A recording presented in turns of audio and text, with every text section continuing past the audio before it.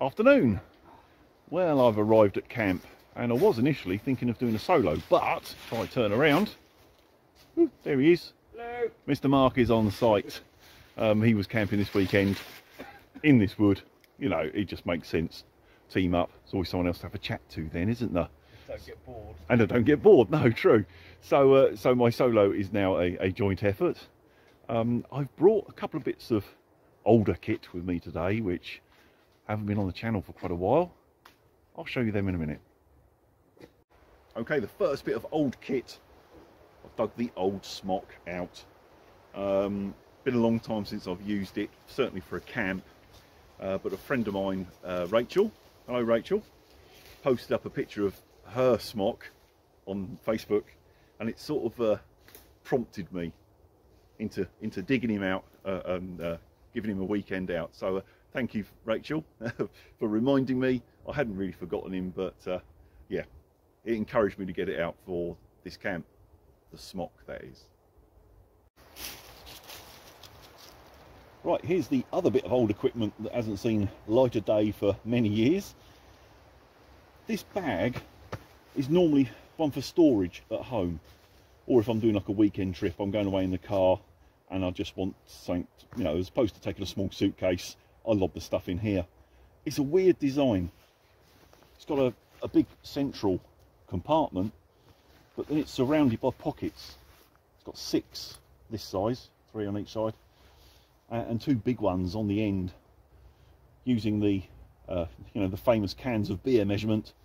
All these are two cans of beer sitting upright and the N ones you can get four cans of beer across to give you some idea of scale it's got the carry handles which are great for you know lifting it in and out the car boot if you've got a lot of rubbish in it it's got the rucksack type straps it does normally have a waist belt but I've, I've stolen it to use elsewhere at the moment so I haven't used the waist belt and it's got a couple of compression straps here which is I've always found this very, very strange because you can see by the straps, this is where your back is.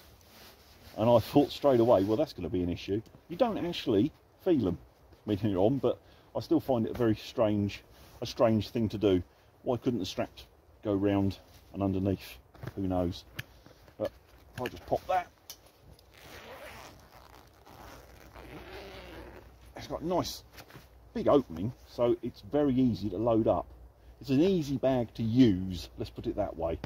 Um, it's got plenty of disadvantages, but it's cheap and it's great for storing gear. And I say like weekends away in the car, but I just thought I'd bring it out for a change. That bit of padding in that lid, that's the only back padding you've got. So if there's a fair bit of weight in there or lumpy stuff, that's why my padded jacket is in there. Just a little bit of extra padding yeah, I just thought I'd show you that because I, I, think it has featured on my channel, but not for probably three years. So it was time that one had an outing. Well, I was going to do a setup portion of the video, uh, but just started unzipping my bag and it started raining. So it was uh, a bit of a rush to do things quick. And of course, now it's all up, the rain stopped, quite typically. So uh, let me just grab the camera and I'll just show you what I've got in there. Okay, on the outside, the Decathlon Solognac tarp. Um, purely because it's my current favourite. Let's see what's underneath. Right, I've gone with the Solognac or Decathlon hammock purely because now it's a bit chillier um, I find a slightly smaller hammock makes me warmer. I don't know if it's psychological or it really does, but anyway, that, that's that's me. Um, with the DD under blanket on the outside, DD under blanket and this fit brilliantly together. Inside, I've got the down hybrid sleeping bag. That should be plenty warm enough for this time of year. Um, I think it's comfort down to six degrees. Then of course, add on the effects of the under blanket. I'm, I'm going to be absolutely fine got my inflatable pillow, but you cannot see it because these sleeping bags have a pocket built into the hood. Stick your uh, pillow in so it doesn't scoot off in the night. You don't lose it, which is a great feature. I really love that. So that's in there. Hopefully, a comfortable and warm night. We've just rigged up a basher over the top of uh, Mark's new tent. It's not one he's bought with his own money. It was actually sent to him to review by a company, a well-known company, which we will not mention because we've had a look at it and we don't really rate the build quality. The design design's okay, but the build quality is just rubbish. Um, we're that confident, although the weather isn't terrible, it was prudent to put a basher over it. That's how much we're not confident of how well it's finished. Yes, they will remain anonymous.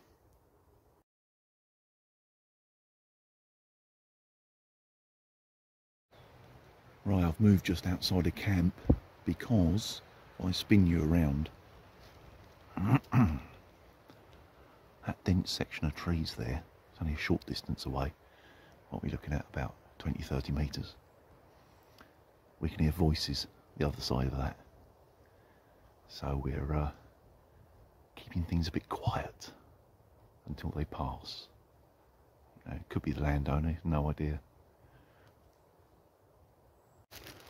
Time for coffee and cake.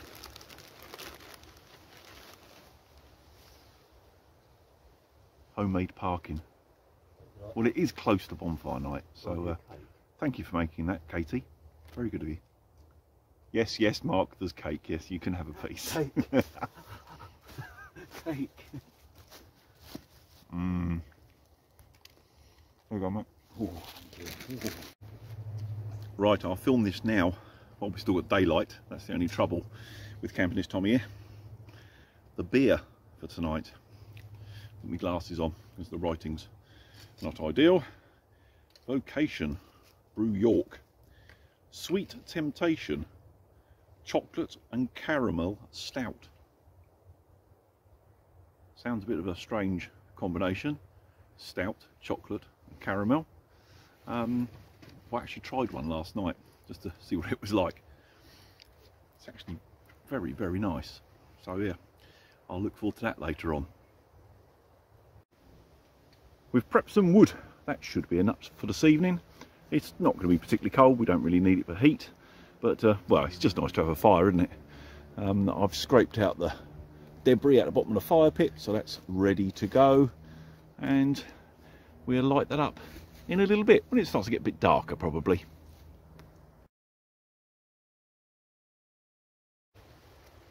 It's bloody raining again, so I've retreated underneath the tarp, sitting in the hammock. Oh well, it makes as good a chair as it does bed, so it won't matter. Well, it was a bit dark and miserable, so we lit the fire early.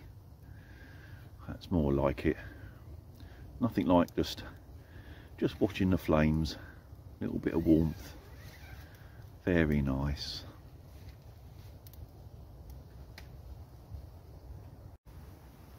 Okay, it's dark and the fire is going nicely. So, it's beer o'clock. Time for the, the stout with chocolate and caramel. Clunk.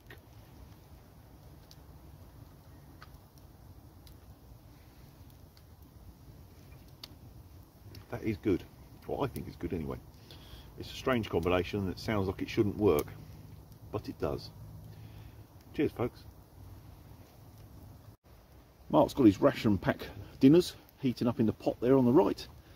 I've got a naan bed bread sitting on the uh, pole there, warming through. Uh, ready because I've got homemade chilli there, just cooking up in my pot on the little stove. Should be tasty.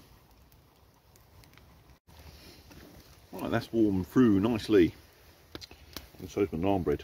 Oh, can't see in there. Hang on. Have a bit of light on.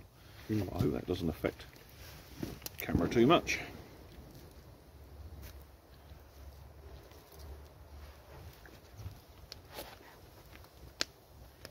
Mm, perfect.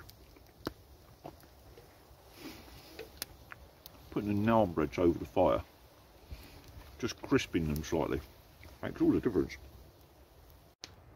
Well, the weather is playing cruel tricks on us. Every time we sit by the fire and get comfortable, it starts raining. We wait it out for a couple of seconds, you know, to see what's happening, and it gets harder and harder. So we grab the chairs, come underneath my tarp, sit down, rain stops.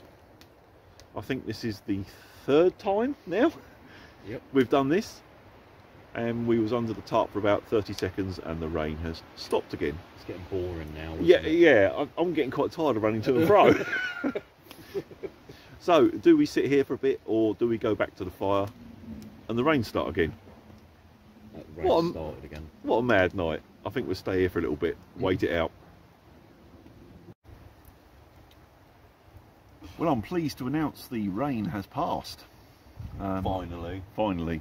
I tried to, uh, to to take a picture of it, but it didn't work. But we have clear sky, stars. So uh, it's nice that the rain's gone, but of course that now means it's going to drop cold. But hey, I'll take the cold over the wet anytime. So it's going to be a nice night. I like it when it's a little bit chilly. I always seem to sleep quite well, as long as I'm warm in the sleeping bag. Snuggly. Snuggly, yeah, yeah. But um, we was just saying that it's it seemed like such a long night this time of year. I mean, what, what time are we? It's only quarter past eight, and it feels like it's eleven o'clock at night. Um, I, I even feel a bit tired, and, and I think it's it's just my head. It's simple as that, you know. It's been dark for so long; it must be bedtime. But um, yeah, long Excuse me. oh, excuse me.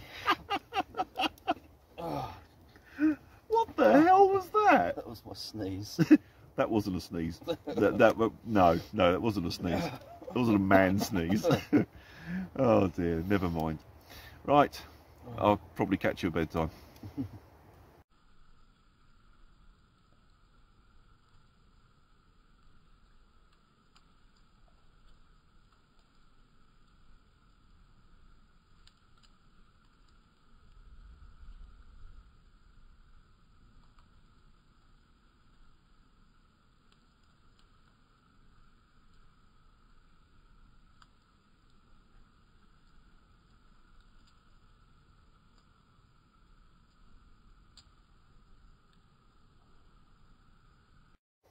Right, time for bed, and it's an early one.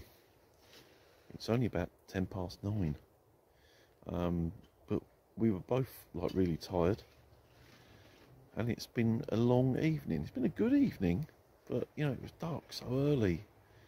Um, so yeah, might as well just call it quits. There's no point in staying up for the sake of it. If you're tired, you're tired. So I'm in the hammock and it's starting to warm up already. Under blanket's doing its thing. I've got my down bag, so that should warm up quite quickly. Body be no problem, but uh, this time of year, being a bit cooler, I've stuck the bandana on just for a bit of bit of head insulation. It's you know it's nice and thin and light, so you're not even sort of aware that you're wearing it but it does make a surprising difference. So, I will turn my light off and see you in the morning. Good night. Good morning, and I've only just woke up.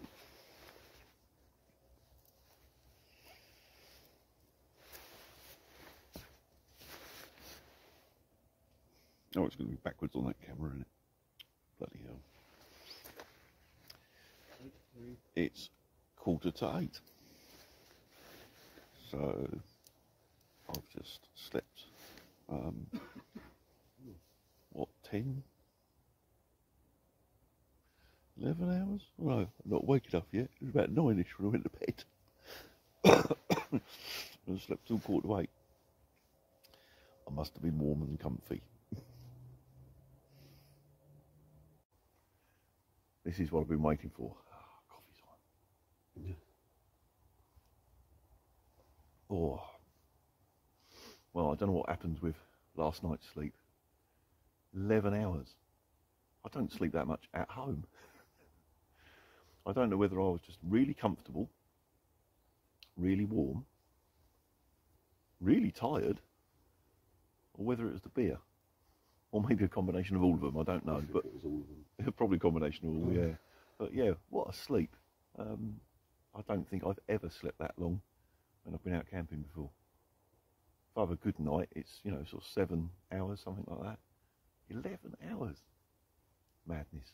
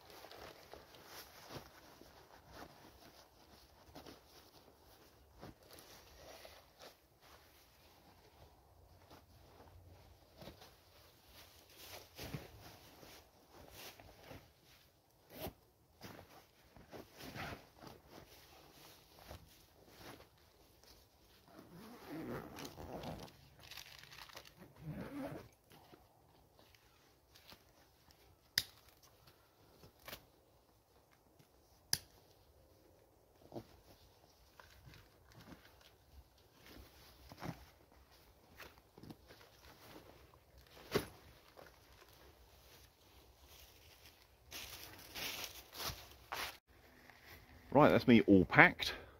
Everything's back in the, the weird old bag. it's far from ideal, um, but it does hold quite a lot.